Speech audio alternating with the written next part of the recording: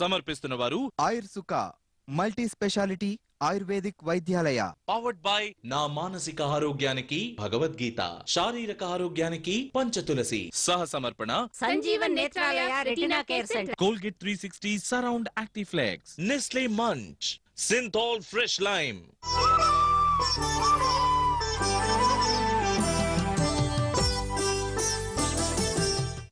అందరికీ ఆయుర్వేద శుభోదయం.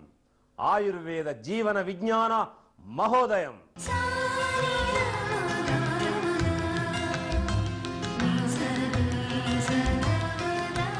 బిడ్డలో ఇంటికి దీపం ఇల్లాలు అనేటువంటి ఈ శీర్షికలో ఈరోజు మనం ఎంతో మందిని లక్షల కోట్లాది మందిని వేధిస్తూ ఉన్న జీవితకాలమంతా గోళీలు వేసుకునవలసినటువంటి దుస్థితి కలిగి ఉన్న అధిక రక్తపోటు. మనం కూడా వేరే ఏ ఇతర ఔషధాలు వాడే అవసరము లేకుండా మనల్ని మనం ఈ అనేక భయంకరమైన వ్యాధులను కలిగించబోయే రక్తపోటు. ఇది వ్యాధి కాదు. వ్యాధికి ముందు రూపము వ్యాధి లక్షణము రక్తపోటు అనేది. ఇది గుండెపోటుని కలిగించవచ్చు పక్షవాతాన్ని కలిగించవచ్చు.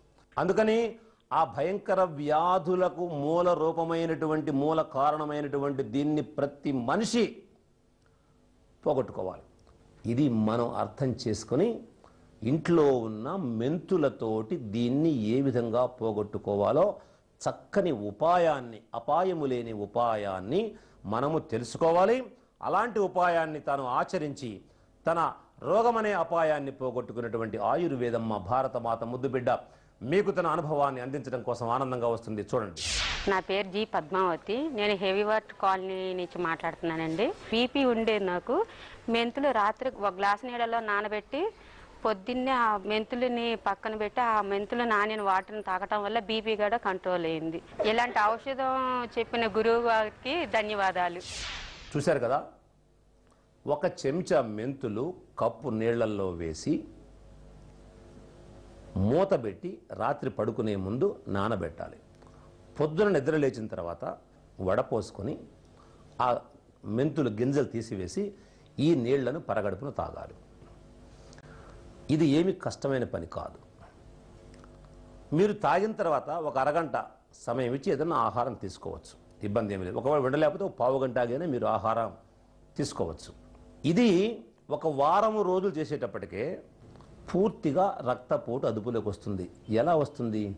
ఇందులో ఔషధ గుణం లేకపోతే వస్తుందా? ఇవాళ ఎంతమంది మెంతుల గింజల్ని పొడి చేసి గొట్టాలలో పెట్టి అమ్ముతున్నారు?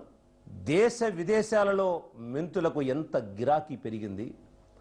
మనం తరతరాలుగా ఎందుకని మెంతులను పరిమితంగా మనం ఆహారంలో ఆహార పదార్థాల్లో కూరల్లో మనం వాడుకుంటున్నాం? ఇది అంత గొప్పది కాబట్టి మహారుషులు ఆనాడు దీన్ని కనుగొని అందరూ వాడుకోమని చెప్పారు. కానీ ఇవాళ మనం ఈ చిన్న పని కూడా చేయటానికి బద్దకిస్తూ అశ్రద్ధతో మన కొంప మనమే కూల్చుకుంటున్నాం. స్వీయ తప్పిదాలు స్వయం అపరాధాలు స్వయం కృతాపరాధాలు వీటికి వేరే మార్గము లేదు. ఎవరికి వాళ్ళు తప్పు తెలుసుకొని దిద్దుకుంటే తప్ప నీ సమస్యని పరిష్కరించుకోలేరు. నీకు నీవే కర్త కర్మ క్రియ నీవు తలుచుకుంటే నీ ముందు ఆ జబ్బు నిలబడలేదు పరారైపోతుంది. ఆనందంగా జీవించవచ్చు. చక్కగా కొంచెం అమితమైన ఆవేశం అణుచుకో. ఆందోళన వద్దు. ఏదో మనకన్నా ఒక అతీతమైన శక్తి ఉంది. అది తల్లో తండ్రో దానికి రూపం ఉందో లేదో మనకు తెలియదు. ఆ దైవశక్తి దాని మీద నీ భారం మోపు. నీ కృషి నువ్వు చేయి. ఒకసారి ఓడిపోతాం ఒకసారి గెలుస్తాం. ఎప్పుడు గెలవం మనం? ఒకసారి దుఃఖం ఒకసారి సంతోషం వస్తుంది. రెండు సమానంగా తీసుకో. ఎంతకాలం బతుకుతాం మనం ఇక్కడ? అందువల్ల ఈ సిద్ధాంతాన్ని మనం అలవాటు చేసుకుని కృషి లోపము లేకుండా మానవుడు ప్రయత్నిస్తే విజయం సాధిస్తాడని మీకు తెలియజేస్తూ కొద్ది క్షణాలలో మనం ప్రగతికి మూలం పురుషుల్లో మరో బ్రహ్మాండమైన మార్గం చెప్పుకుందాం. చూస్తూ ఎదురు చూస్తూ ఉండండి.